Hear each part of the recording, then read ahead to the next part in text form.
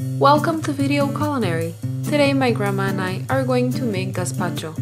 Gazpacho is a refreshing chilled vegetable soup that originated in Andalusia region of Spain. Gazpacho is light, healthy, easy to make, and very delicious. Peel 1 kilogram of tomatoes. Use a sharp knife to make a crosswise incision. Place in boiling water for 1 minute and shock in ice water. Remove the skins easily.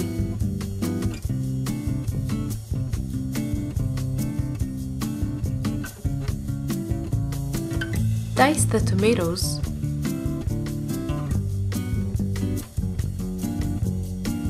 Dice 150 grams of cucumber, 150 grams of bell pepper, and crush 2 cloves of garlic. Transfer the vegetables to a blender.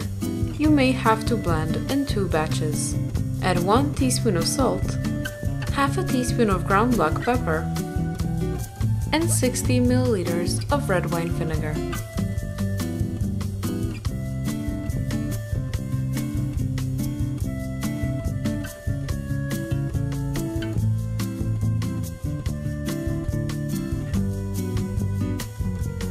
Add 120 milliliters of olive oil.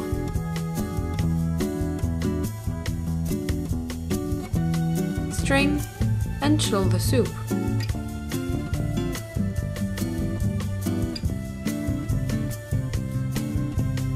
Garnish with diced cucumber, drizzle some olive oil, and serve. Thank you for joining us today. Good luck with your gazpacho, and please visit our website videoculinary.com for more delicious, easy to follow recipes.